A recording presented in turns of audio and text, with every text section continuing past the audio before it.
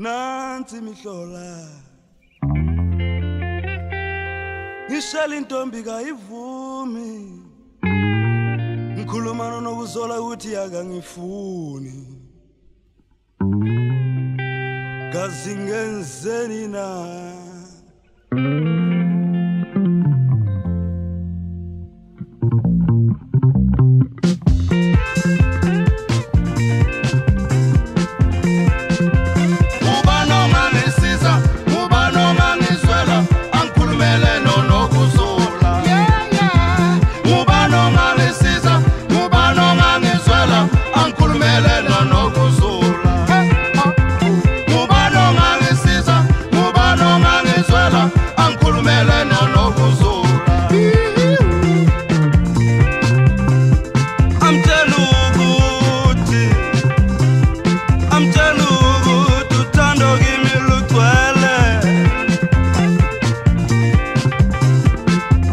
Mtanda yenu eh,